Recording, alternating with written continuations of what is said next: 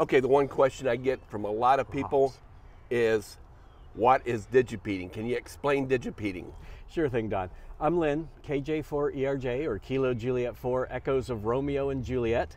Um, I'm the author of APRS IS32, the APRS client that everyone uses on Windows, or a lot of people use on Windows.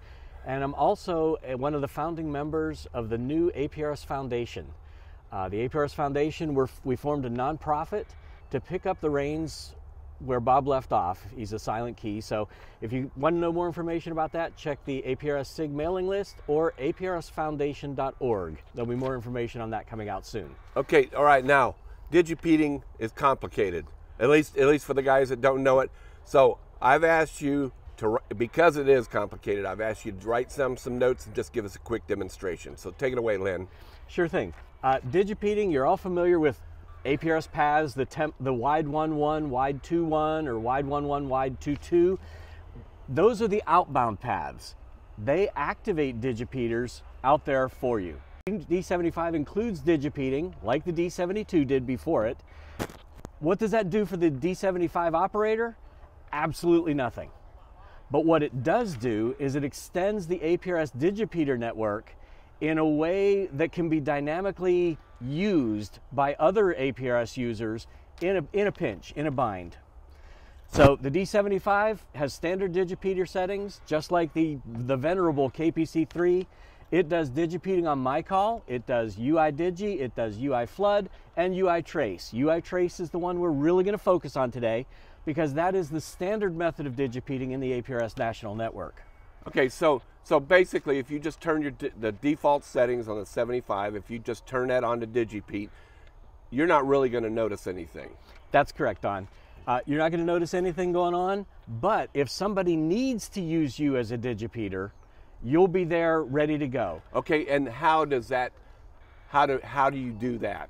Oh, how do you actually use the temp network? Right. That requires you to set your outbound path on whatever APRS radio you're using set your outbound path to a temp 1-1, temp 2-1, or whatever. So you just use temp instead of wide.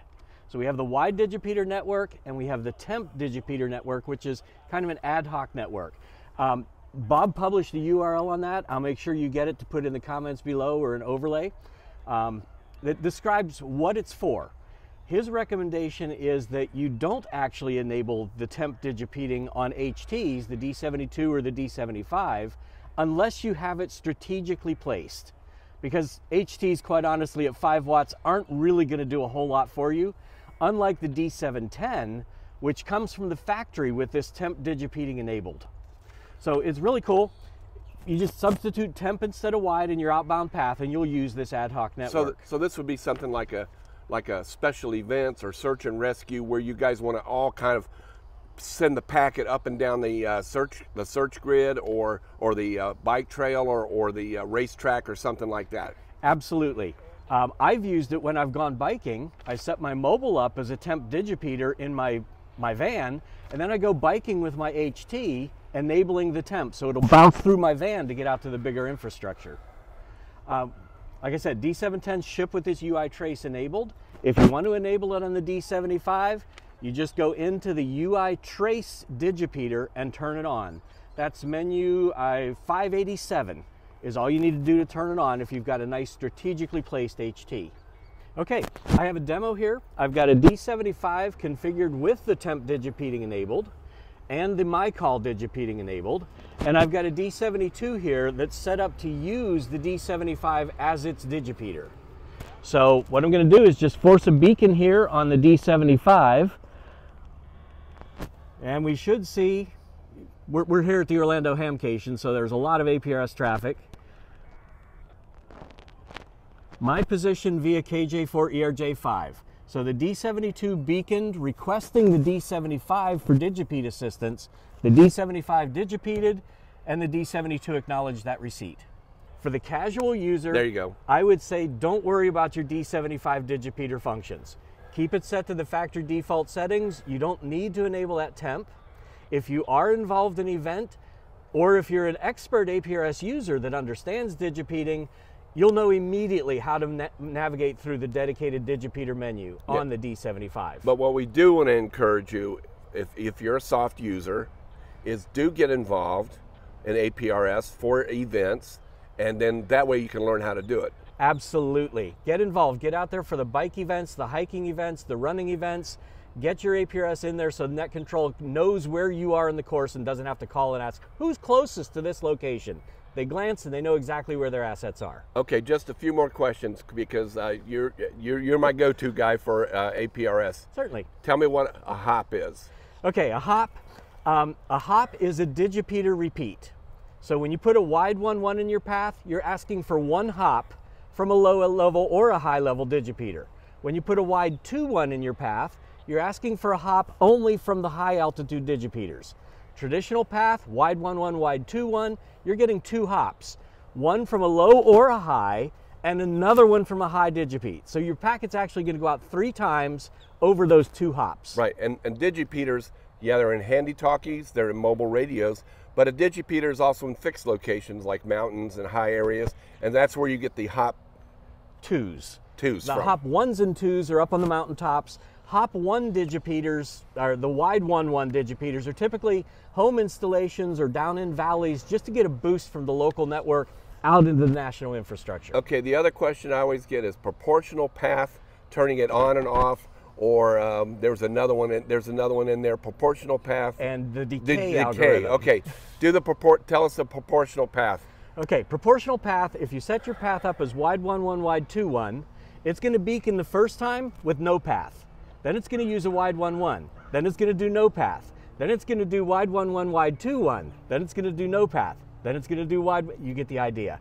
It lets you beacon locally with no hops, beacon a little bit further local with one hop, and then beacon back to no hops, and then beacon out to the two hops. So it contains what you're doing to the network. If you're tooling around town, that's perfect. If you're cruising out on the highway, I would turn off proportional pathing because everywhere you go is going to be a new location. Okay, now for me, when I'm mobile, I use smart beaconing, and that and that that to me, when I'm traveling, I use smart beaconing. I use the default settings because uh, that works for me. Yes. But uh, but then decay algorithm is Uh, the, the decay algorithm will, as I understand it, I'm not real familiar with that one, will will slow down your beacons if if you're not moving. That's correct. So you, when you first park, you might get a 10 minute beacon and then a 20 minute beacon, and I think it maxes out to 30 minutes. Okay, all right, all right, all right. So, so Bob, he's just he he put that in there to save the save the network, so to speak. right for okay. the, for mobile operators that are then parked. Okay, and then um, one more question. Sure. Some people get the idea that you can message.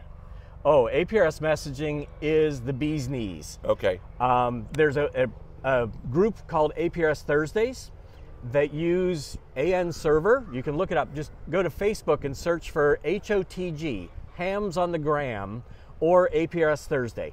It uses a worldwide APRS messaging network, and they're typically getting anywhere from three, I think they maxed out at 500 participants in a UTC 24 hour Thursday window. So it's it's practical. You can work all states in one in one day. Yes, as a matter of fact, with uh, HOTG, they have their own APRS Messaging Worked All States Award.